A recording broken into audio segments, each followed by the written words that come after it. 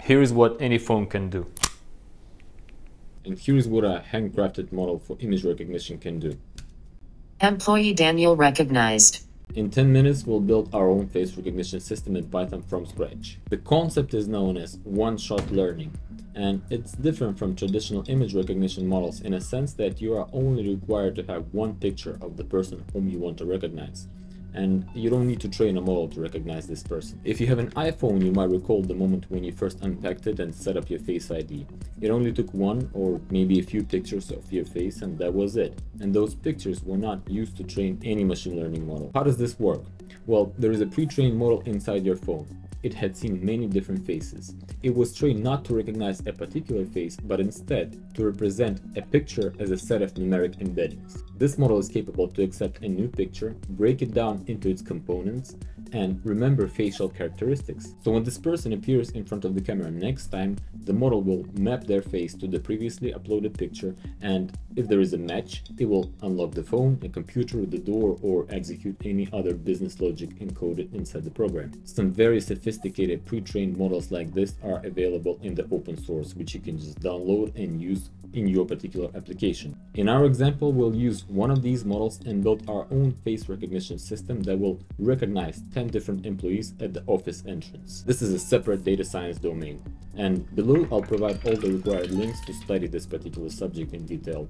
But if you know nothing about it and want to quickly and effectively become a data scientist, a complete roadmap is spelled out in my most popular video so far. Now let's dive in. All the code for this tutorial is available at the dedicated repository, a link below. It contains everything including a complete face recognition script. But if you want to code along, just download only the requirements, the model folder and the program skeleton. Let's create a new working directory and place our downloaded objects here. For all the new projects and research, I'd like to create a fresh virtual environment with a clean copy of Python so I won't mess up the other dependencies I have on my machine. And you can do this using a virtual env package just by creating a fresh version of Python and then activating this virtual environment and installing the requirements. If you don't know what this means, just don't bother, skip this step, this is not going to make any difference for you. Before we write any code, let's plan what our program needs to do. So we are creating a face recognition system that will work at the office building entrance and will open the gate to the employees whose pictures are in the company database. I like to start by defining placeholders for all the functions that we need to code up, so this sort of a program skeleton will make the coding process much easier. Our program is going to consist of seven functions, so the first one is loading the saved model and there is nothing special about it, so I have it defined here already. The next one will convert an image into an embedding vector using this model. So it will take a picture and represent it by its learned characteristics. The initialize database function will take all the pictures of our employees, run them through the model, represent them by numeric embeddings, and store them in a database. In our case, this is just going to be a dictionary with an employee name and their embedding get image from camera is going to utilize the camera that I have available in the system. In this case, is just the webcam that I have connected to my computer. Identify person function will execute the logic of comparing the picture taken from camera to the pictures stored inside the database. Of course, both of them will be compared when they're converted to their numerical embeddings with the model. Recognize face from camera is the main function that will trigger all these functions right here. And this last function here, add a new user to database, will just add new people that become new employees to the database easily. It will just automate this process. It will take their picture, record their name, and store it inside the database. And up here we have the necessary dependencies that we need to have installed in order for this program to run. So let's start with image to encoding. Basically what it does is it grabs the image from your hard drive, uh, normalizes it, runs it through the model and gets an embedding and then represents it as a vector and then it returns the vector or, or the numerical representation of the image. Let's encode some image with this function.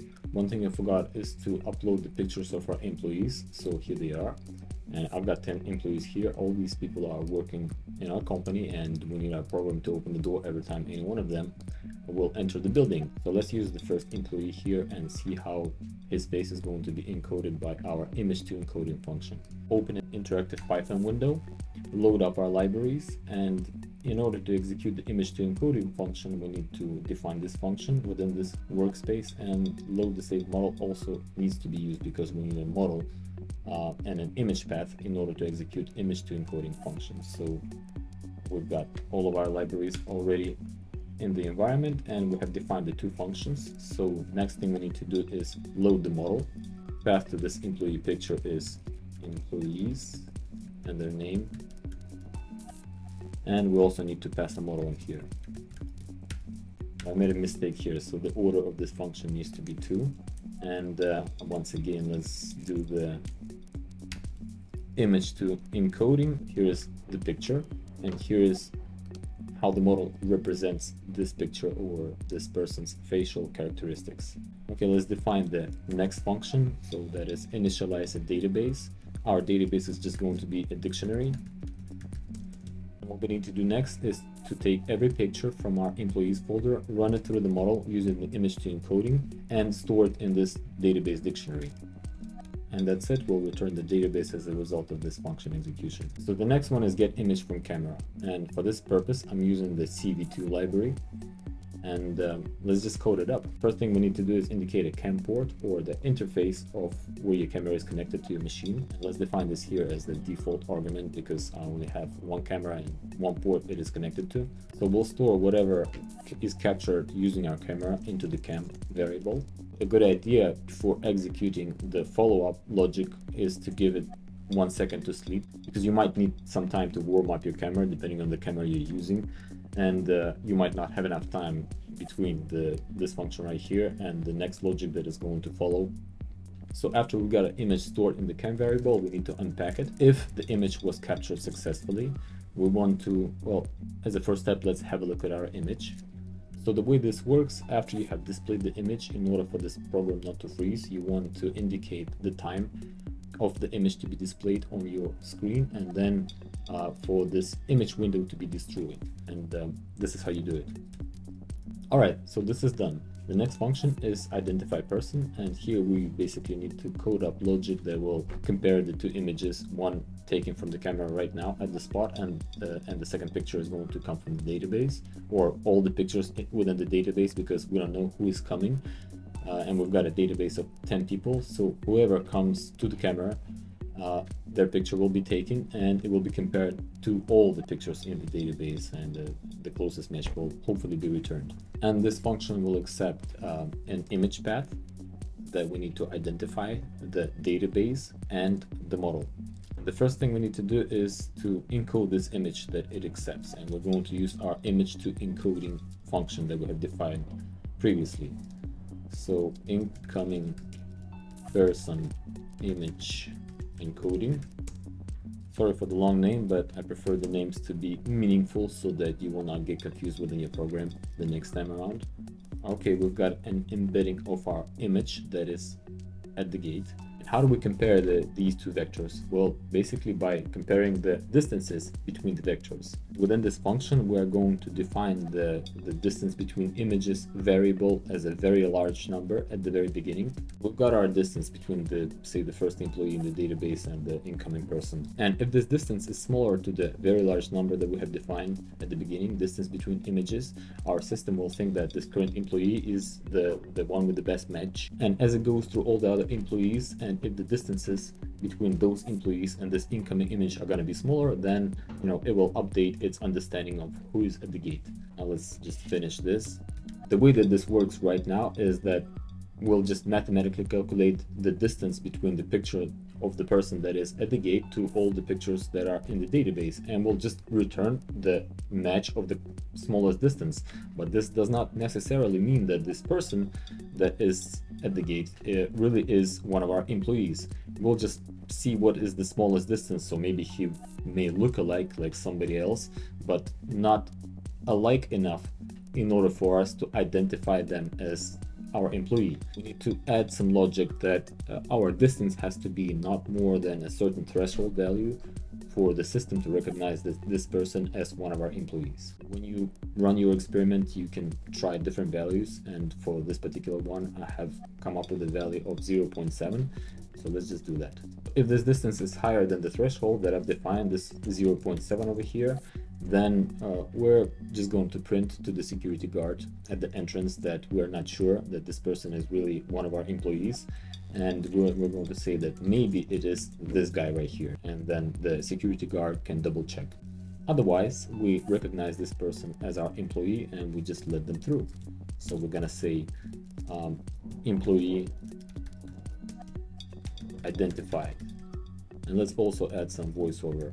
Hopefully this is done and let's code up the last two functions. So the main function to recognize face from camera that will just execute this logic right here and the last function to add new user to database. This actually is going to be quick because we've already defined all the functions that do everything that we need.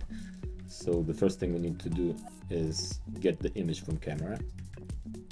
So since our program works with images stored locally, we need to temporarily save this image somewhere on our system. After this is done, we'll run the identify person function that we've just defined on that image.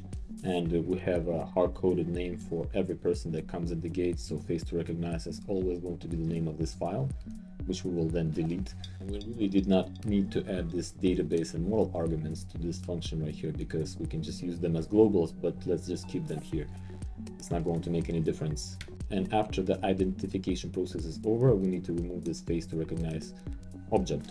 So the last function we need to code is adding a new user to database. Define the name of the person that the picture is being taken of.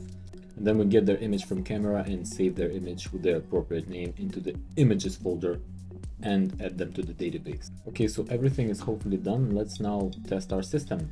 We'll use the interactive window here just to see the result right away. Okay, the model loaded successfully. Now we need to initialize our database. So in other words, we will take all our images of all our employees and encode them and store them in the database dictionary.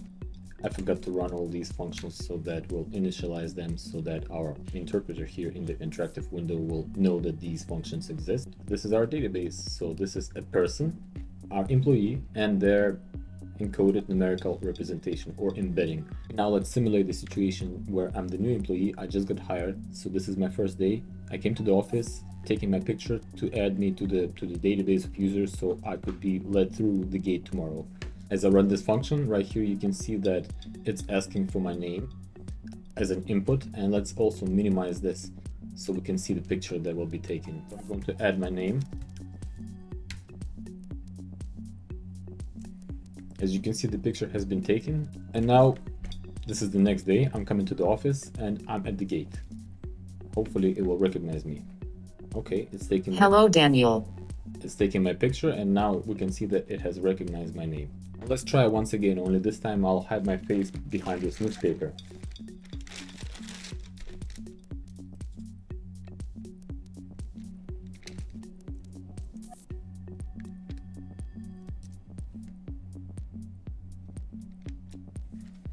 Okay, so it says not sure, maybe it's Daniel.